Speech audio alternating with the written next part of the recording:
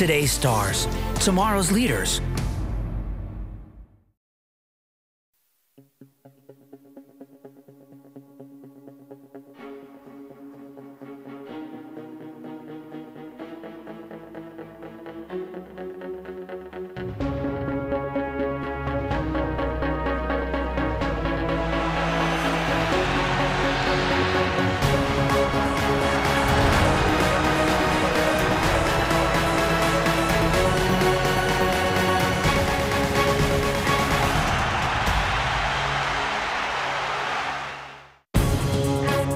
To Campus Sport as we travel to the United Arab Emirates for the World University Championships in shooting.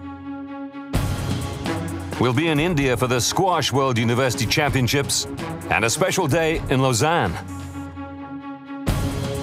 We meet Blaise Giezendanner, a top name at the last Winter Universiade, as we start the countdown to the next one. All coming up in this edition of Campus Sport. Al Ain in the United Arab Emirates, the city whose name means the source in Arabic, originally an oasis with hot springs. Al Ain now welcomes the fifth World University Championships in shooting.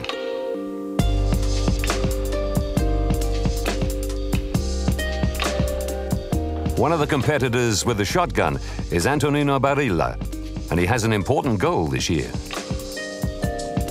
Here is a very important competition. Uh, I did uh, this competition uh, three times, and this is four times that uh, I do World Championship University. And uh, I won the last World Championship in Kazan 2012, so I am here for defend my title. A silver medalist at the World Championships in Granada this year, he competes in the double trap, the newest discipline in shooting. It consists of using a shotgun to shatter two clay targets fired into the air simultaneously. I started shooting in 2005, like in competition. I was in the high school, and uh, when finished, I started university. And uh, till now, I'm university also shooter and uh, student. A student in engineering. Somehow, he has to divide his time not easy to do everything uh, together because uh, for study you have to uh, take a lot of power, a lot of concentration, a lot of time. And the same for shooting if you do this like professional. So it's very, very difficult, but it's not impossible. I, I did, so it's possible. To be a good shot, you need a good eye and steady hands. And of course, you need confidence. But nothing comes for free. As with every sport, training is a part of life. A lot of time I finish to shoot and I go to gym, or I go to run or aerobic work.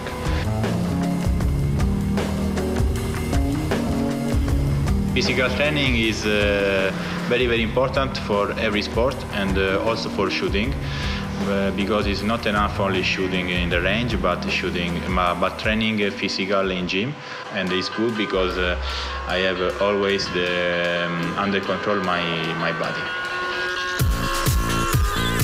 Shoulder exercises to avoid the pain, and balance and core muscle exercises are at the heart of his training in the gym.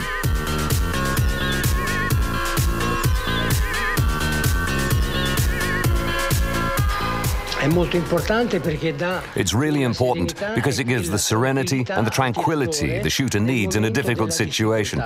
When the shooter is getting a zero score, because it does happen, like a goalkeeper can let in a goal in football, but when he scores zero, there's some disorder in the mechanism of his mental system. And so what we're trying to do is get the shooter to be mentally and physically prepared and to help him to overcome difficult situations mentalmente pronto e fisicamente a posto, questo gli permette di superare il momento di difficoltà. Shooting requires physical skills like stability, coordination and endurance. But there's more. During competitions, mental skills are fundamental.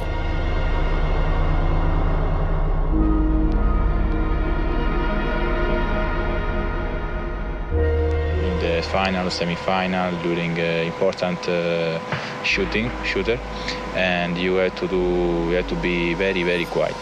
But uh, the, in the same time, you have to be very aggressive, very power, very strong to catch the target.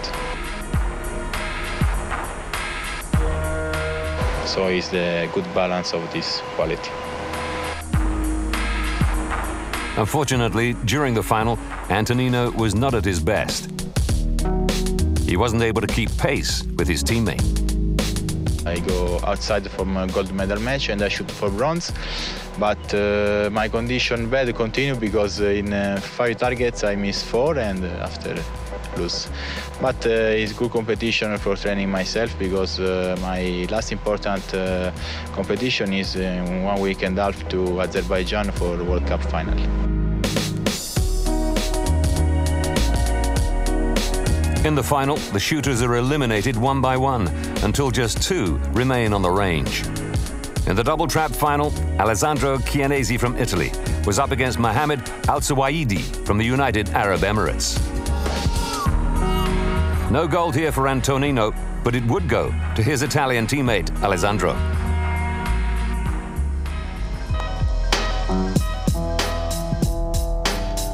From the shotgun to pistols and rifles. In pistol and rifle competitions, the athletes shoot indoors at electronic targets.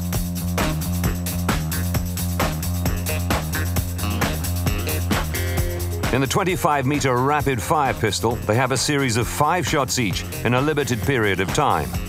Six competitors will go through to the final. And this year, it will be a French medal sweep. Boris Artaud finishing third, Jean Quiquampoix with a score of three in the last round would finish second. And the winner, Clément Bessaguet, in the lead since the third series of shots, and he would finish with a nice five.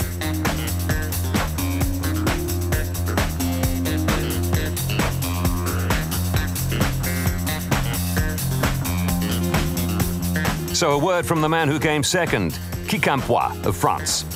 In the match, I really wanted to prove what I could do. I was really hungry for it. I had just one wish. I wanted to win. Well, I was second. He was first. Everybody's happy, but I really did want to win the final.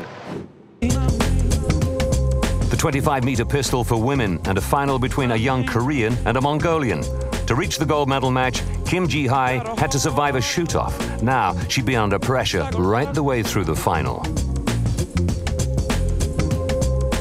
But she held on and she'd be the winner, finally. I was too nervous, really. I was very stressed. I had some tension and a pain in my shoulder. But you know, I enjoyed every moment of the competition.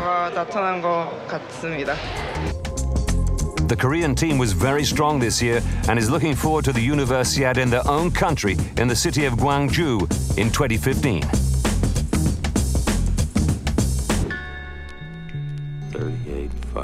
The 10 meter distance sees different weapons come into play. The air pistol or air rifle, not with bullets, but lead shot.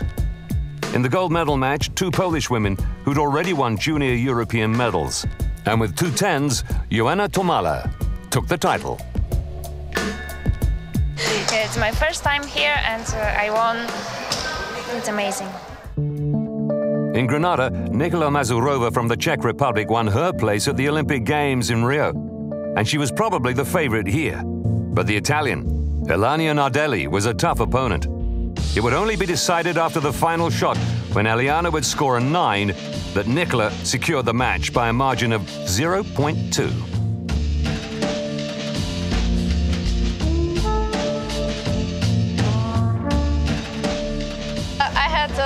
pretty good start to the final. I didn't shoot um, nine, and I uh, made a really good job uh, in my shoot-off. And after that, I wasn't so nervous, and I uh, was able to do a really good job. In rifle competitions, to help keep them stable, athletes wear heavy pants, jackets, and shoes. The 50 meter three position is a discipline where you start in the kneeling position, then prone, and finally standing. In the women's contest, this is Nikola Mazurova again, the winner of the 10 meter discipline, competing once more for the gold.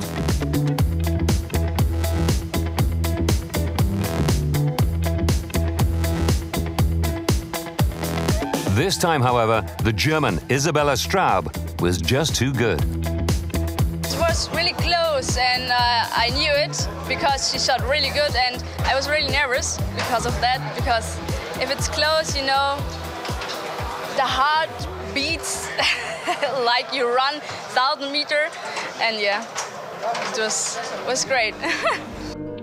The shooting here was just one of many university championships in a variety of sports that have taken place around the world this year.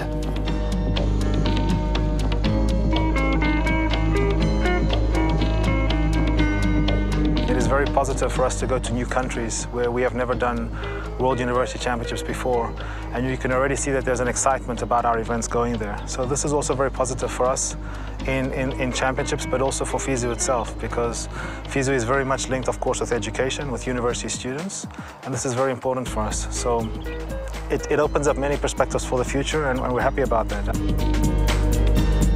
And FISU's next University World Championships in shooting will be staged in Mexico in 2016.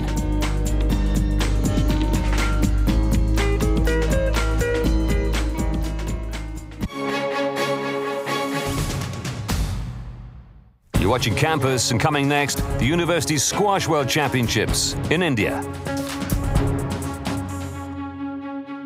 And FISU's special day in Switzerland, Lausanne in motion, after the break.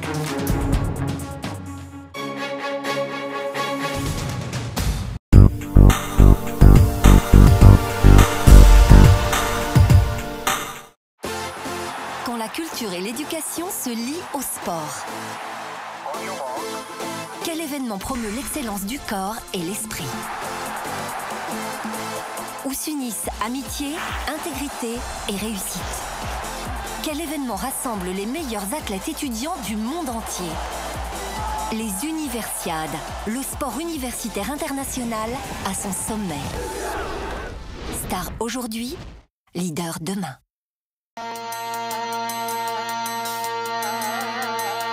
A big occasion for India with the World University Squash Championships, the first time the country has hosted any of the 38 sports that feature in the World University Games. We have 80 uh, officials and players uh, who have coming in from 11 nations. Uh, from the university in Chennai, Sathyabama University, we have arranged 40 volunteers to make sure our event is a success. Camilla Tomlinson of Great Britain won the women's title with Olga Erblova in second place. Third place going to Farah Abdelmegid of Egypt. I love India. I love the culture about it. The people are really friendly. The whole tournament's been really, really well run. Um, got really good volunteers helping us, and it's just been amazing. And for the students, a chance to share experiences and discover something of other cultures. And it's interesting to see my level at the moment at the beginning of the season because I'm playing a lot of international uh, players and I will, I'm sure I will play them later uh, during the season. In the men's competition, Zahid Mohammed of Egypt and Eddie Charlton of Britain took second and third place, respectively. First time for me to play uh, as a university world champion. Um, I'm happy that uh, I went to the second place. It will help me in the university for uh, a lot of things.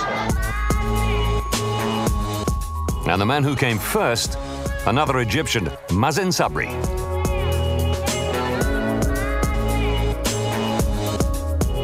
Uh, it means a lot to me as it's my first uh, world event to win. So I'm really happy to become like the world champion of the universities. And the next Squash University Championships will be held in Kuala Lumpur next year. For the past three years, FISU, the International University Sports Federation, has been based at Lausanne in Switzerland. So it was appropriate that this was the city chosen to launch a new initiative, the first international festival of university sport, called here Lausanne in Motion. It's an event which says thank you to the city of Lausanne that welcomed us. It's also an event uh, which was prepared by students for students. A free event open to everybody, a meeting between students and the citizens of the city. But why Lausanne in Motion? Lausanne in Motion, Lausanne in Motion because it's about youth, about students, and it's a movement. And sport is a movement, a university. And what we wanted to do is to say that young people have to dream in our world. They have to be happy. And they need to express that. And this is an occasion to do it. The festival was designed to move the people of Lausanne to learn more about various sports and to learn something of FISU's values in university sport. Everybody's having fun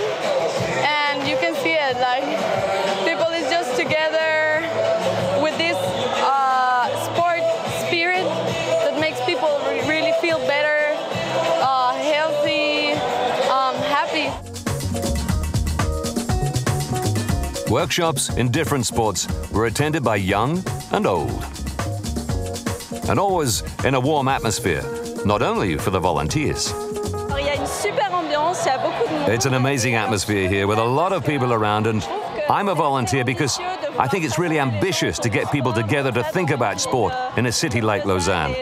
I wanted to know if it could work, and it is working. I'm really glad to see that. Alongside university staff, many students gave their time to share their passion for university sport.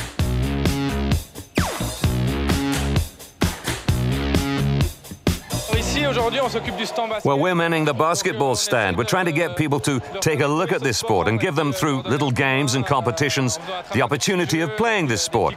It's important to make university sport better known. The Sport and Health Centre of Lausanne presented different ways to train the body, developing motor skills in order to progress in harmony.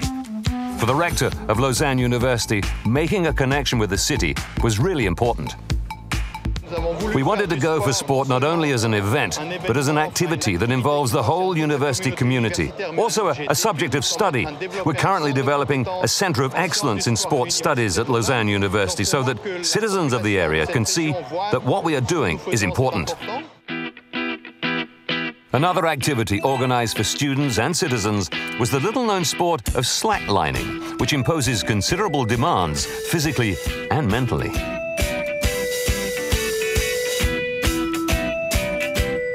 The world of students and of universities like discovering new activities, which are the precursors, if you like, for research into new activities.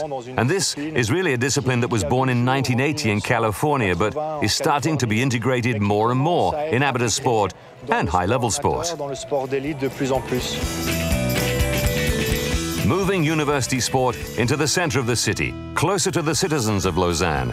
The International Federation of University Sports has taken a determined first step in its new initiative.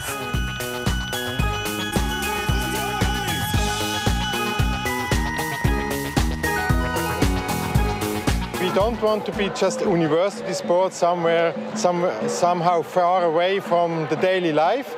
We are part of the daily life and this is part of our culture. Lausanne in motion. The University Sports Day in the city of the FISU headquarters took place on September the 20th. The idea is to replicate it elsewhere. Here's FISU's Secretary General, Eric Saintrond. In the future, what we want to do is to export this concept all over the world. That's the reason why, together with UNESCO, we will have very soon the good news that uh, the, the day of the International Festival of University Sports will be the 20th of September, which is the date where everywhere in the world we would like to have that kind of event. I mean, open event, not only for the students that are top athletes, but for the people that want to practice sports for leisure, for health, and for pleasure. Lausanne in motion. It could be the start of something big.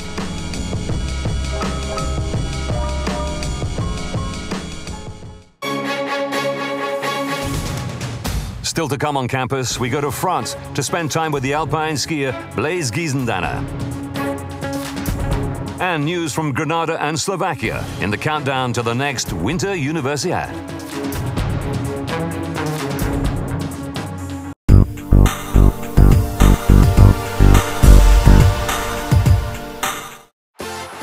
Quand la culture et l'éducation se lient au sport.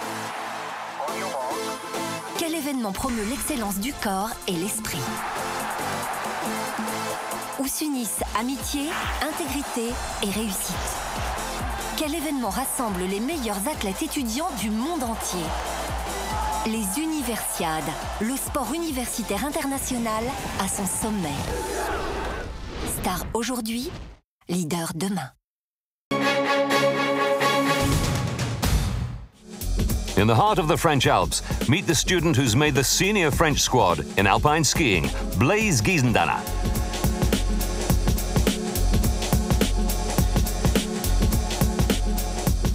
On est sur le glacier de Tignes.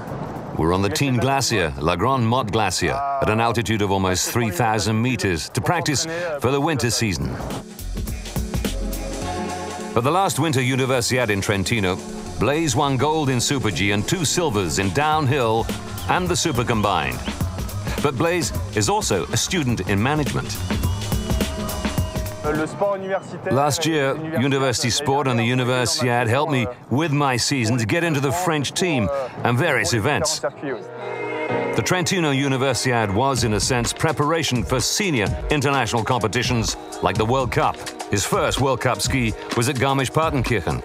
He came 53rd, then Kvitfjell in Norway, 42nd. On Super G Day, I was number 12 to go, and when I finished, I said to myself, I've had a great run. And when I looked at the leaderboard, I saw I was first with a margin of 0.8 seconds, and I thought, it's my day to win. All year long, Blaise has been following the same program as the other members of the French B team, despite the pressure on his time. He was born in Chamonix 22 years ago and still skis with childhood friends.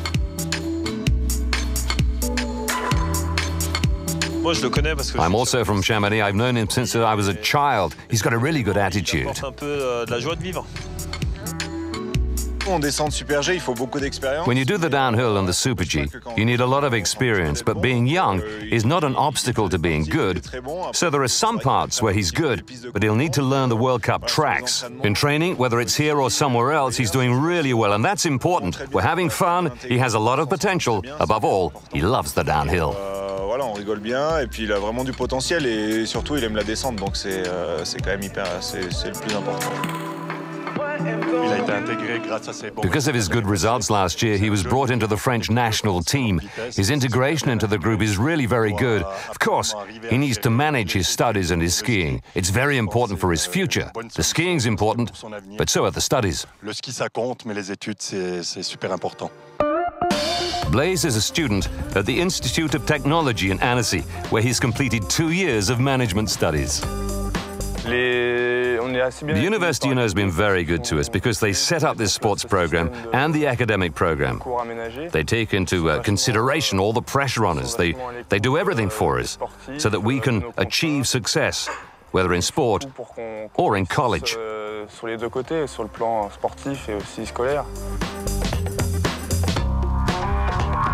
It was difficult because he was already a high level athlete and he missed a lot of classes. So we've tried to do something different, to organize something different for these students.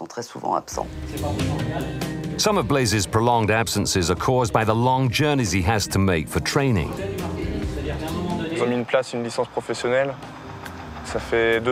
They set up a professional degree. I've been doing it now for two years, and I can study another year if I want to, but not everybody carries on studying. If you want to succeed at a high level in sport, you have to make a choice. Despite being an athlete, though, in the French ski team, I'll continue my studies.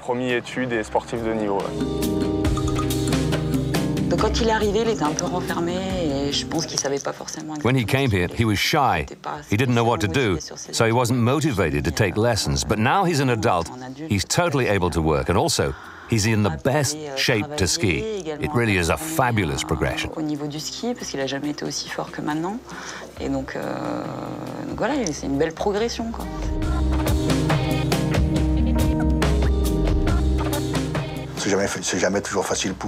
It's never easy for them because when they arrive, they need to work to be focused on their lessons for a long period.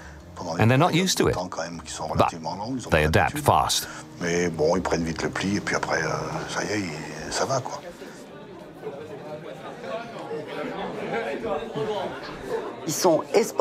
They're both high-level athletes and students. Here, they're regarded as students, but we're very proud when they bring back these.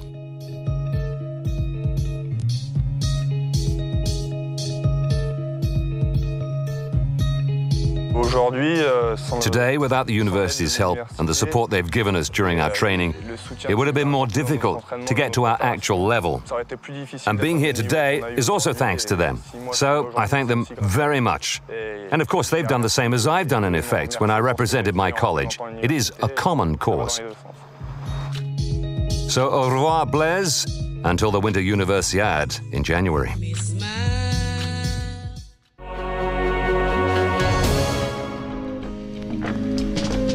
2,330 kilometers separate Granada in Spain from Strbske Pleso in Slovakia. But in January, the two cities will enjoy a common enterprise as joint holders of the 27th Winter Universiade. With alpine skiing in the nearby Sierra Nevada mountains, the ice sports will be in Granada City.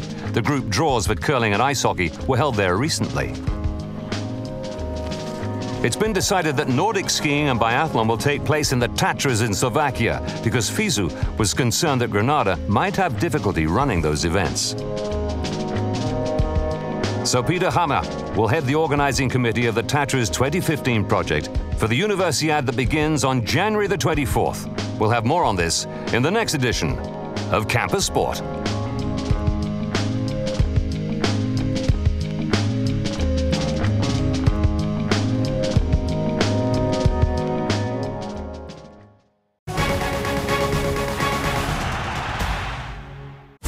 Today's stars, tomorrow's leaders.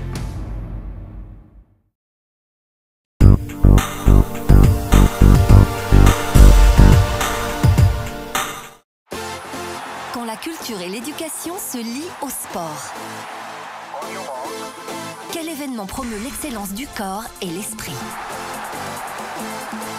Où s'unissent amitié, intégrité et réussite? Quel événement rassemble les meilleurs athlètes étudiants du monde entier Les Universiades, le sport universitaire international à son sommet. Star aujourd'hui, leader demain.